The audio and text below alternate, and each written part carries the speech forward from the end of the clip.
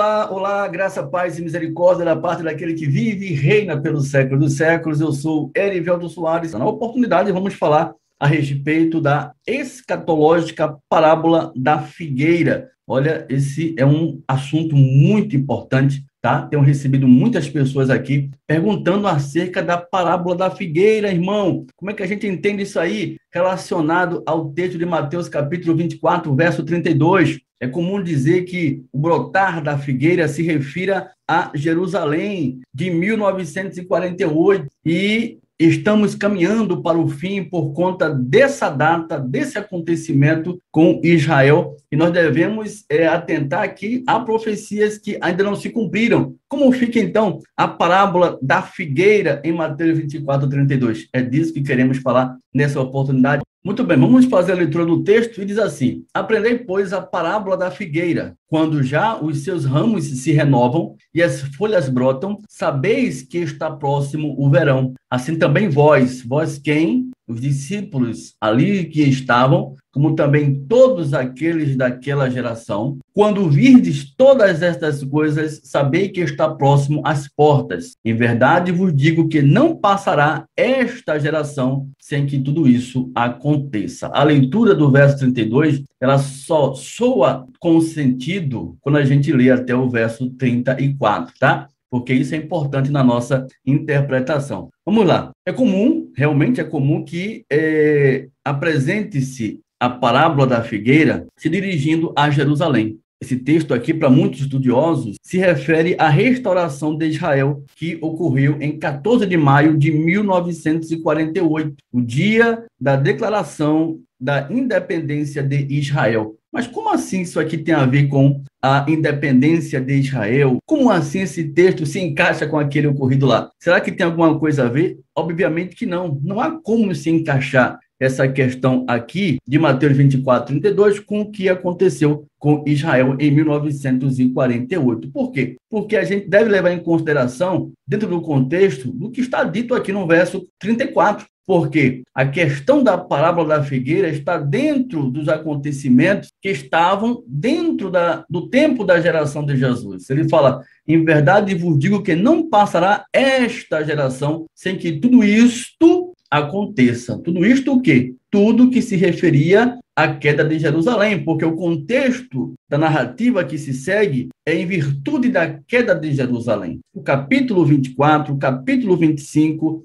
está todo contextualizado no discurso profético de Jesus que é, apresenta a queda do templo, onde não ficaria da mesma pedra sobre pedra. Então, é por isso que ele diz aqui, ó, em verdade vos digo que não passará esta geração. Gênea no grego, tá? Não é genos, é gênea, referindo-se aos seus contemporâneos. Uma geração, ele tem um tempo determinado da Bíblia, tá? De 40 anos. Então não tem nada a ver com a geração de hoje, com a Israel de hoje, mas sim com a Israel dos dias do Senhor Jesus. Esse é um fato, tá? Uh, na interpretação desses muitos teólogos, é que Israel de 1948 até agora é um verdadeiro milagre de Deus. Seria um milagre de Deus, uma infalível prova das misericórdias do Senhor, da bondade de Deus com referência àquele povo. Aquela terra, na ocasião antes de 1948, era uma terra completamente deserta, não, tinha, não davam seus frutos, é assim que eles identificam, né? Mas tornou-se um verdadeiro oásis a partir do momento em que o povo começaram a retornar para Jerusalém, onde as figueiras existentes naquele lugar passaram a crescer,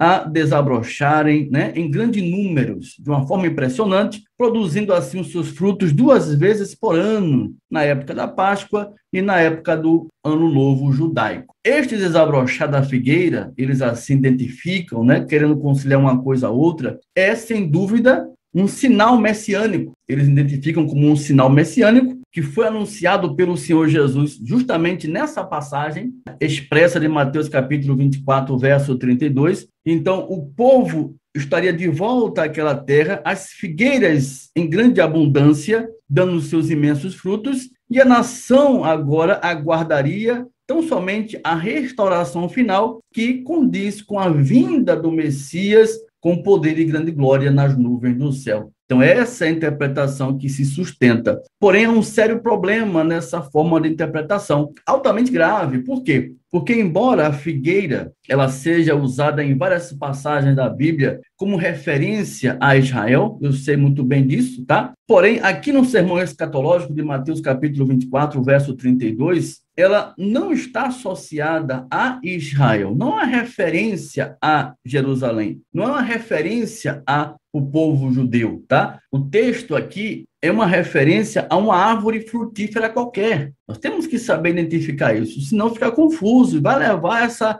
forma bizarra de interpretação, que não é o que acontece aqui nesse texto. Isso fica muito claro quando a gente vai ler aqui Lucas, olha só, olha lá, Lucas capítulo 21 é o mesmo sermão escatológico do Senhor Jesus, onde ele prediz a destruição do templo, tá? No mesmo contexto. Aí a gente chega aqui no versículo 29, tá? Mesma narrativa daquela do templo, a lição da figueira, até o verso 31. O que é que diz a palavra? Olha lá. Os mesmos dizeres de Jesus aos seus discípulos, ao povo daquela geração. Olha lá. Ainda lhes propôs uma parábola dizendo: Vede a figueira e todas as árvores. Olha lá, texto aqui é claro, né? Deixa esclarecido que Jesus está olhando para a figueira como qualquer outra árvore. Ele diz: Vede a figueira e todas as árvores, quando começam a brotar, vendo, sabeis por vós mesmos que o verão está próximo. Mas assim também, quando virdes acontecerem estas coisas relacionadas aos sinais da queda de Jerusalém,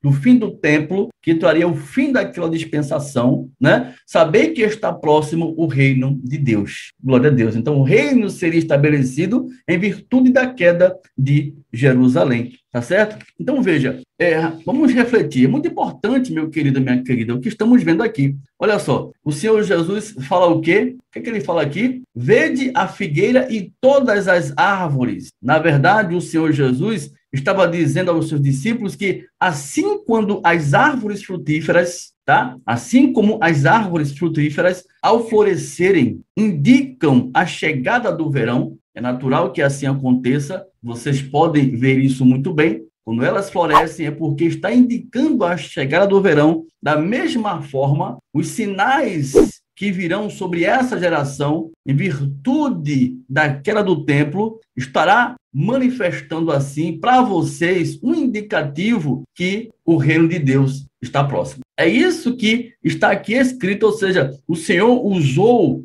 a figueira como uma ilustração, não uma referência a Jerusalém, a Israel, que esteja se dirigindo ao seu brotar pela questão de que uh, aconteceu em 14 de maio de 1948. Isso é uma interpretação bizarra, que é fundamentada na questão escatológica, que por isso é, está em cumprimento ainda questões escatológicas que não foram apenas para Jerusalém 70, assim que eles identificam, não a parábola da figueira apresentada por Jesus aqui no sermão escatológico da queda do templo é uma ilustração que se dirige aos tempos das últimas coisas acontecerem em referência à manifestação do seu reino. Está claro aqui, ó. Vede a figueira e todas as árvores. Como a gente não consegue identificar essa questão das árvores, porque Mateus verso Mateus 24, 32 não aponta, não deixa isso claro, mas aqui no mesmo sermão escatológico, em Lucas 21, verso 29, fica claro que é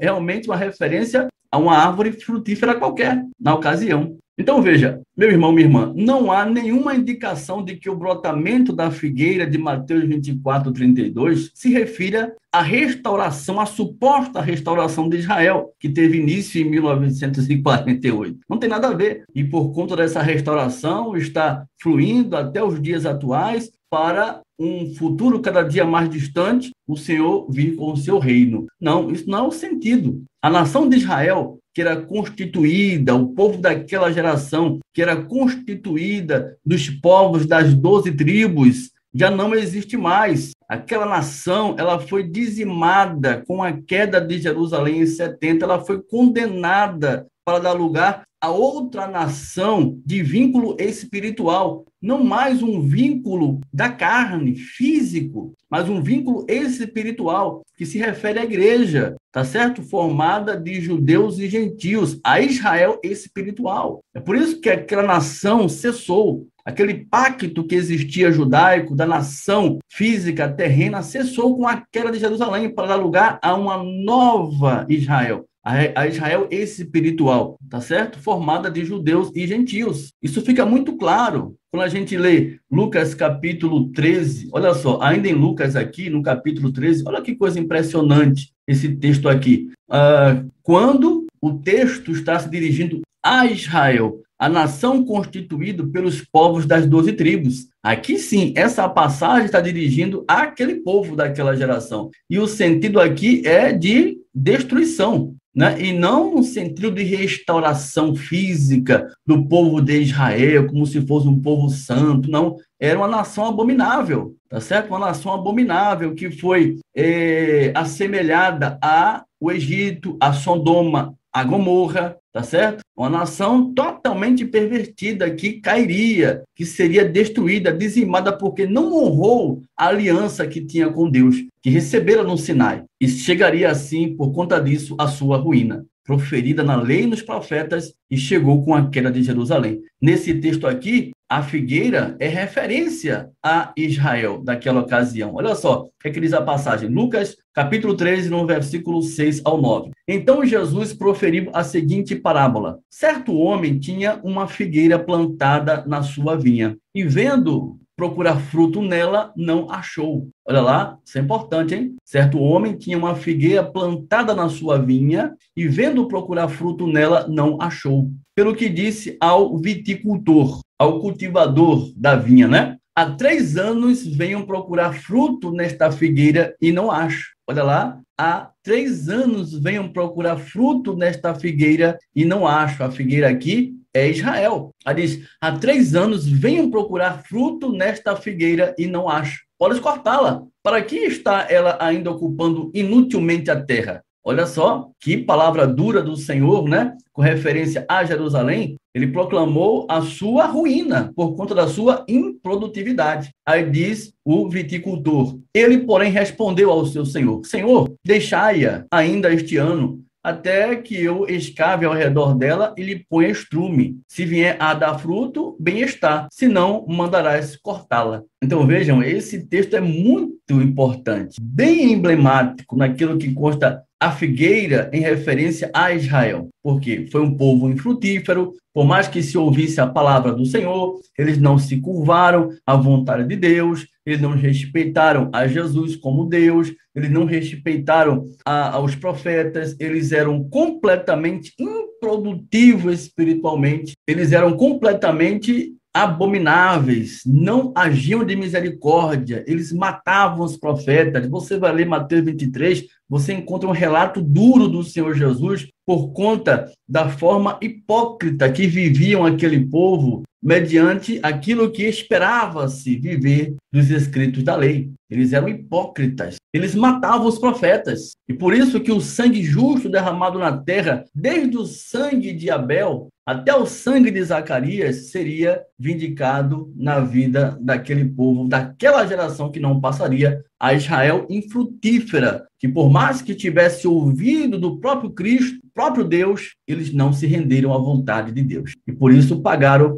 com a grande ira de Deus sobre eles. O sermão escatológico de Jesus fala justamente disso quando a gente lê Mateus capítulo 24, Marcos 13 e Lucas 21, quando veio o justo juízo àquela geração e não ficou do templo pedra sobre pedra. Aí você vai ler Flávio José, fica encantado como ah, os fatos aconteceram né, e que compõem justamente os ocorridos que levou à destruição daquela geração, daquele povo que desrespeitaram a Deus, que desrespeitaram a aliança que Deus tinha feito com eles. Então, esse texto aqui prova claramente que o corte de Israel carnal como nação escolhida de Deus foi para sempre, não foi para restaurar aquela nação cujo qual tinha povos das doze tribos, não, foi para dizimar, cortou um povo infrutífero, não deu frutos para Deus. Por mais que tivesse uma aliança com Deus, mas eles não se voltavam para Deus, matavam os profetas e por isso pagaram com a própria ruína. Estava prometido isso como uma maldição daqueles que não cumprissem a lei, e assim sucedeu.